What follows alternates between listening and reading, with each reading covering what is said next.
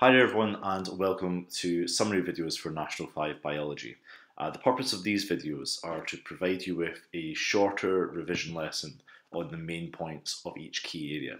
So as you go through the playlist, just make sure you are clicking on the right lesson that you want for either unit 1, 2 or 3 and I've got the list of the different key areas here. Each video should be around about 5 minutes long and like I said, it'll give you the key points of each key area.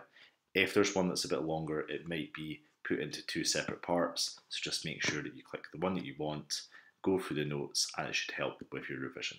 Okay, best of luck and speak to you soon.